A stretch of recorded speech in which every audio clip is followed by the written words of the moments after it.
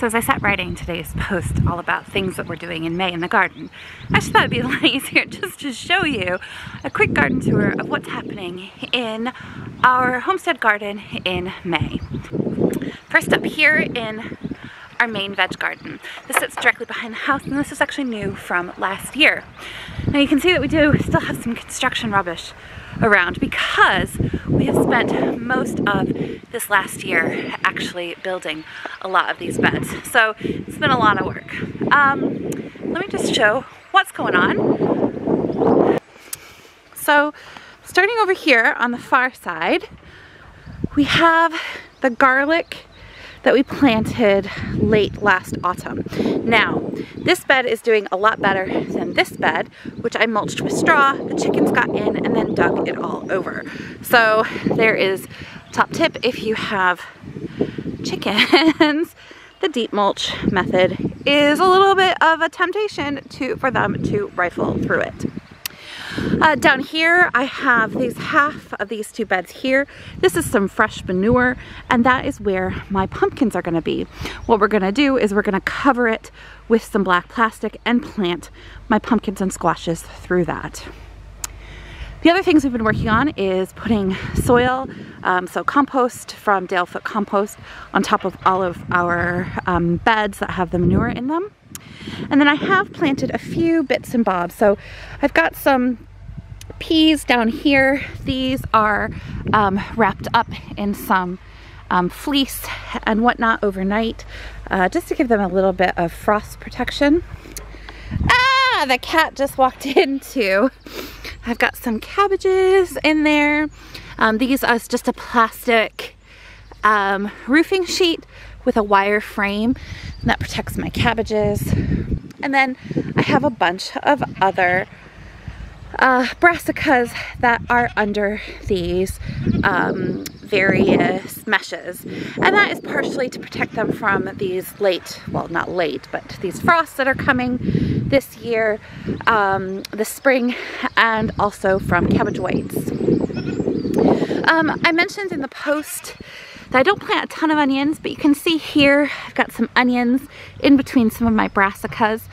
So onions make a great companion plant for brassicas because what it does is it helps deter a lot of the pests that brassicas attract, like cabbage whites and other things. So I do always plant some brassicas in with my onions, and that is a really good thing. Um, and then also, you'll see over here in where the pea bed I just showed you, that's interplanting as well. So I've got my peas interspersed with some brassicas. The peas give nitrogen, and the brassicas love that. The rest of my beds my veg beds are still very empty. We haven't even top dressed a lot of them. Um, we're still working on that and we'll do that as we plant. I'm not in any rush. I still have a good two, three weeks actually um, until I don't have the worry of frost. So most things are just left. Um, some of the things that I have put in though are some strawberries. I have moved a bunch of our strawberries to this garden. Again, with some of the same problems with top dressing them with straw, the chickens got in and dug them up. And I also have some asparagus down here. This is a new bed of asparagus and it'll be three years before I can plant that or I can pick that. Yes, I'm talking about you, chickens. Um, this other half of the garden we've been working on, I'm just gonna climb over here. We have planted 50 raspberry canes. Um, so down here you can see those. They're doing quite well. They're a mix of autumn and summer raspberries. We've also planted some blueberries. These went in over the weekend. And we've got some willow as well. The willow will act as a bit of a break um, from the wind and also hiding from these glamping pods. Uh, we have more willow over here. This is a mix of basket willow and fodder willow um, for the goats and for making things.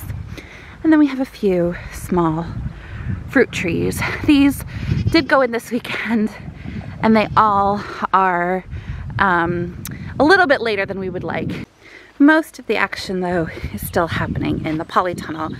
Um, it's nice and toasty in here most of the time, not so much today. It's actually really cold today.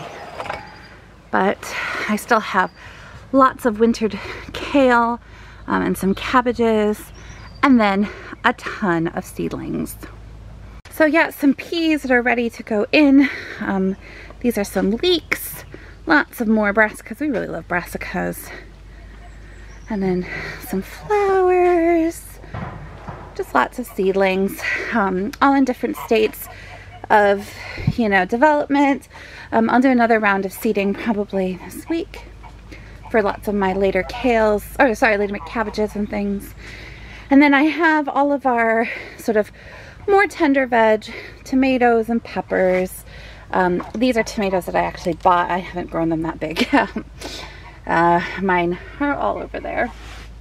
Um, and squashes. And these sit on a hotbed. So this is essentially compost underneath that's rotting down, keeping it warm. And then I cover them every night with the fleece. So my goals for this month are really just keeping everything alive.